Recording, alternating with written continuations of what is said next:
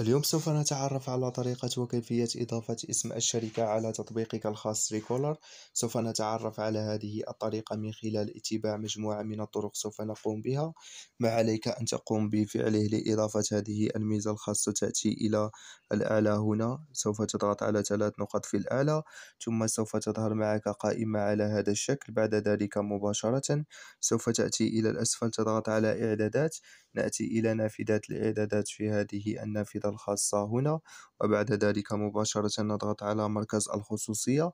نأتي إلى نافذة مركز الخصوصية في هذه النافذة الخاصة هنا. سوف نقوم بالنزول إلى الأسفل.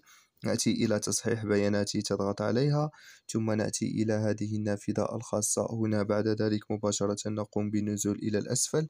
نأتي إلى هنا اسم الشركة تقوم بالضغط عليه ثم سوف تقوم بإضافة اسم الشركة الخاص بك على تطبيقك الخاص ريكولر وهنا نكون قد انتهينا من هذا الفيديو.